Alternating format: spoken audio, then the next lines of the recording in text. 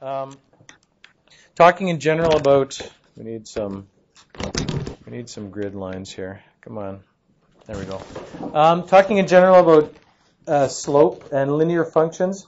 If you if you have a function that is I don't know like this, let's say we have something. It's a what is it?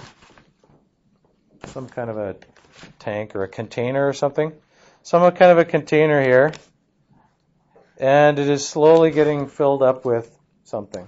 I don't know. It doesn't matter. Water or I'll make it something uh, something liquid like water, and we're gonna we're gonna say that we're gonna measure how many liters of water are in that tank over time. Let's actually draw the water here. How about that? Here's the here's the water. Here's the water that's there now. Okay, I can't guarantee that this is going to work, but it might. So the water is going like this, okay? Here's the water, oh, it doesn't work. it all comes apart here.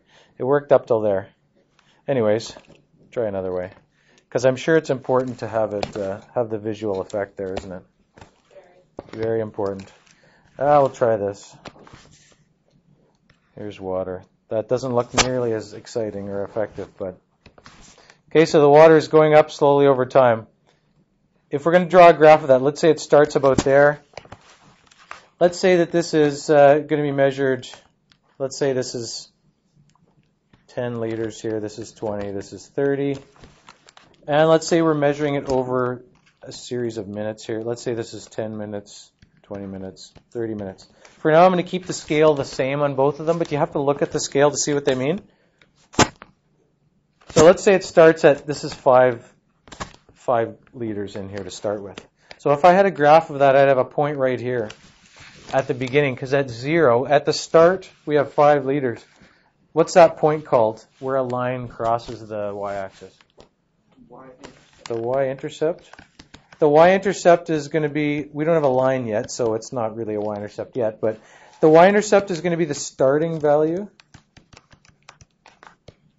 for a function, any kind of function, not just a linear function. In this case, it's 5 liters, right? Five liters is the y-intercept. That's the starting value.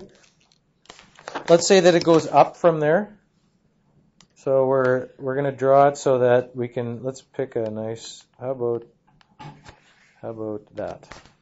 Okay, so it's going up like that. The other thing we can measure um, about this is we can calculate the how fast it's changing here. Which way is this changing? Is it filling up or is it decreasing? What's happening with the amount in here? According to that graph, what's happening? It's filling up, right? It's going up here, the level's going up. If the level were going down, what would that graph look like?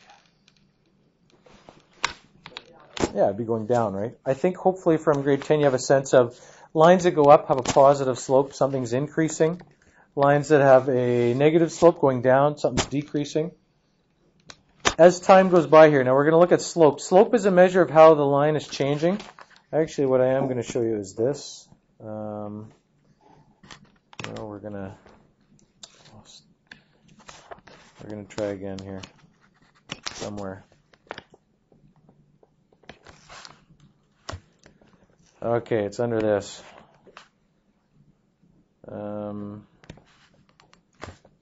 slope between two points.